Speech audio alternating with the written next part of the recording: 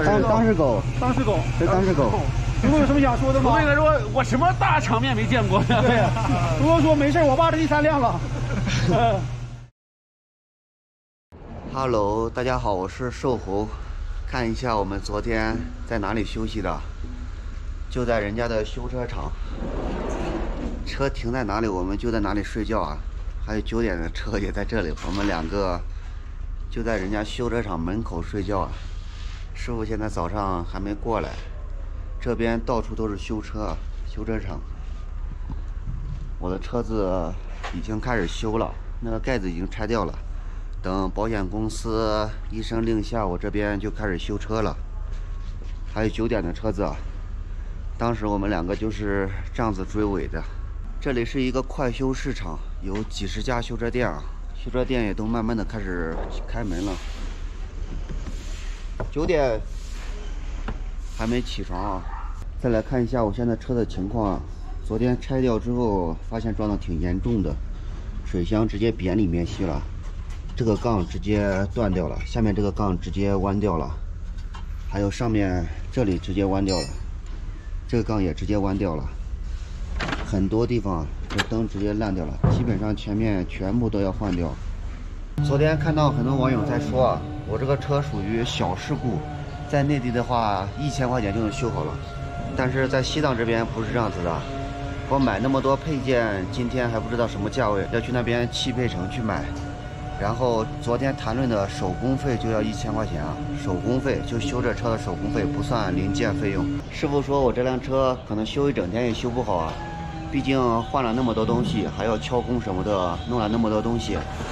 基本上在这里修车的都是内地师傅，内地师傅跑到拉萨来开修车店。如果说一天挣不了一千块钱，他们为什么还要跑到拉萨来呢？所以说这边的物价、手工费就非常贵啊。图图，看九点车窗上还都是冰啊，一层都是冰里面。叫你九点时候起床，下来下来下来下来下来吧。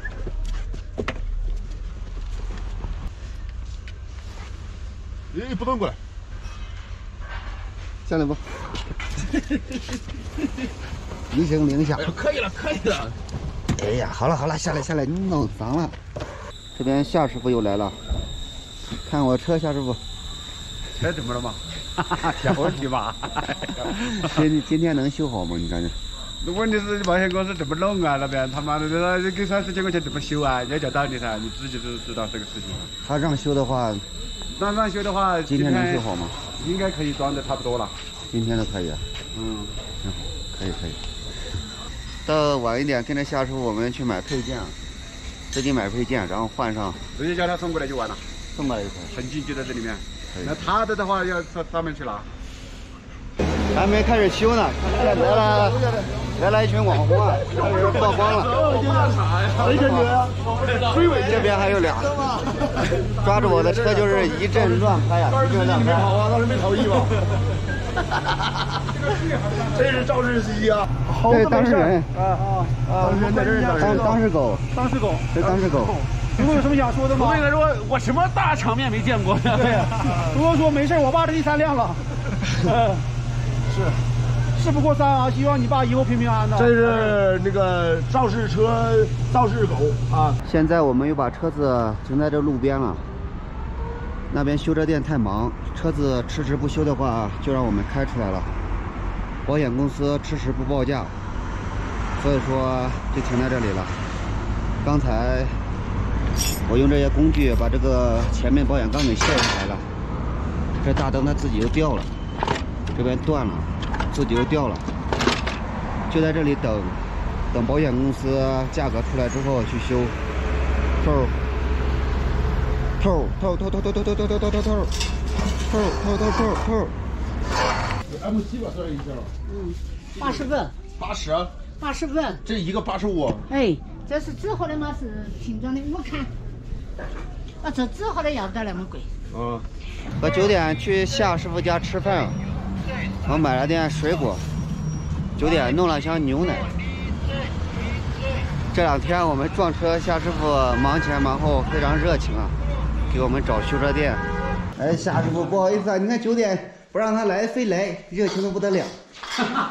嗯，说啥呢？谢谢谢谢夏大哥，谢谢谢谢谢谢。你不要，你你不吃最最谢谢人了。好家伙，开饭了，开饭了啊！开饭了放在那个里面。你坐这干啥呢？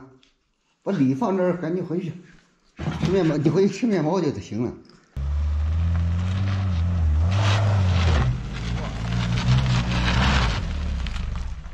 哎呀，修车师傅都不行，咋回事？老师傅，来看看猴哥表演，我看看一下。加油门加大一点，使劲冲！咦，身后那个技术不能吹牛，我跟你说，牛皮吹大了不行的啊！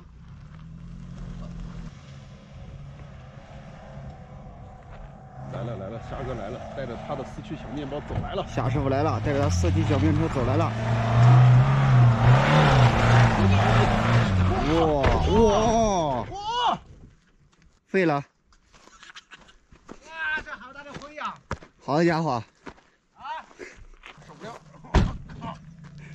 受不了了，疯了，疯了！夏师傅疯了！一，二，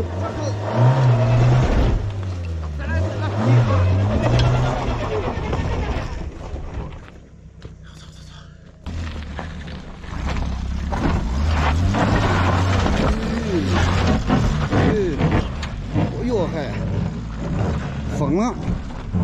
啥叫前杠啊？兄弟，你知道刚才大叔说啥不？啊，肯定跟你有关系，你太倒霉了。他来两次没事，带上你直接就有事儿。那你是干啥的？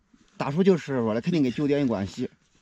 你问，是不夏师傅？有你跟你有关系没有？啊？他就说跟酒店有关系啊，没说跟我有关系。